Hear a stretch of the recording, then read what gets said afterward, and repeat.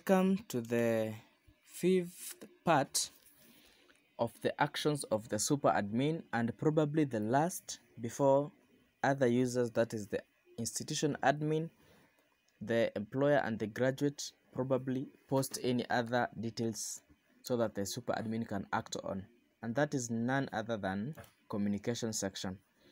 So in the communication section uh, it's very easy we are just uh, trying to to send communications to all other users of the system. And there are, there, there are only two users of this system which are allowed to do such and that is the super admin and the employer. So in this case i am going to only send this communication from the super admin's platform. And uh, while doing that uh, we also select to whom these communications they are supposed to to view. So we have uh, uh, right now i'm in the communication section and we have an announcement we have an advert we have a report. And down here we have a message that you're supposed to leave behind. We have a pdf and we have to select the type of users that are going to receive this particular communication. You can see the super admin is by default selected. That is uh, because he's the super admin all types of communication that are made in this in this system he is supposed to view them because he is the super admin so i'm going to do an announcement. And firstly i'm going to do an announcement to the institution admin then next to the employer so that you can distinguish between the two and you can see whom is going to view the the the, the notification while i do either to them. So this is an announcement. Maybe i'll leave behind a message. Just write a message and uh, here I'll select an institution admin. Now this will be the first message that, that I'm doing and I'll leave behind maybe a PDF uh, and post. So right now the system is uh, sending a notification to the institution admin that there is an, an announcement that has been created of them. Then I'm going to do another another communication. And this time I'm going to send to the employer. And this time round let me do maybe a, a report. So as the previous one I'm going also to leave a message. Um, this time round I'll be I'll be specific so that you can distinguish the two message to the to the employers. Employers yes so we have a message to the employers. I will attach a pdf uh, i will send it to the employer post. So right now the system has two messages that have been sent to these two users of the system. I've not sent any message to the graduate because uh, i've not i've not yet started dealing with the graduate yet. So let me just deal with the employer and the institution admin. So i'm going to log in as one of any of them so that you can see what is happening on their end. So we have uh, i took. I'm going to log in. And as you can see i have one notification here. And uh, if i open this notification it's saying we have a new message. It is an announcement from super so i'm going to check under the communication under the announcement section.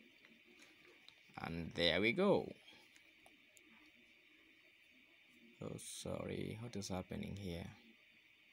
Was it an announcement or an advertisement? It was an announcement yeah there we go. So we have an announcement. You can see the message that we left behind. Here is the pdf you can download it. You can view it. And uh, so i'm going to log in as again as the as the employer. If i remember well it was eric. So there was a target message to this particular user and here it is under the notification one new app notifications new message report from super check under communication. So under communication here we go. Uh, under all that is where we get all the kind of communication of communications that have been made from the super. So we have the message to the employers. So here there is a pdf unfortunately the target is not blank so maybe i'll correct that in future. So you have the date created and created by who? And this is the message. So that's it as far as messages are concerned and uh, under the super admin that is. So i'm going uh, there is another one more thing that the super admin can currently do without any other data that is supposed to receive from other users of the system and that is he can actually generate a pdf of the number of graduates and the institution they belong to i think so. So and on the dashboard we have this particular tab which shows the graduates the total number.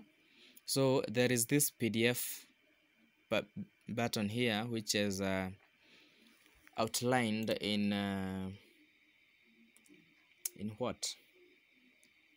In blue so we have uh,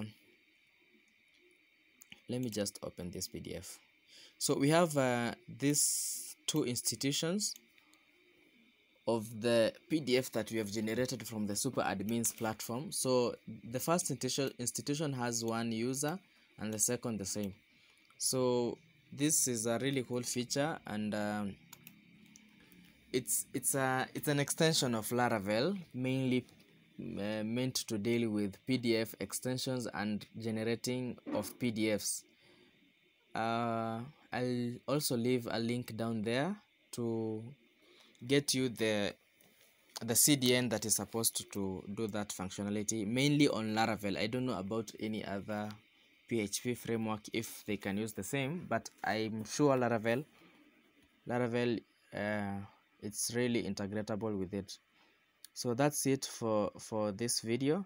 So in the next video i'll be shifting to the institution admin where i'll be showing what they are supposed to do how they're supposed to do it and the background functionalities that are happening. Uh, and before that i think i'm going to do uh, i'm going to show you I, I, I had promised that i'll do a video on uh, postgres. Postgres how to combine postgres and xampp. So i'm going to do postgres and xampp then then go back to the institution admin so that you can you can uh, follow along with all what i'm doing here. So until then have a good time continue subscribing and sharing if you find this videos useful. Thank you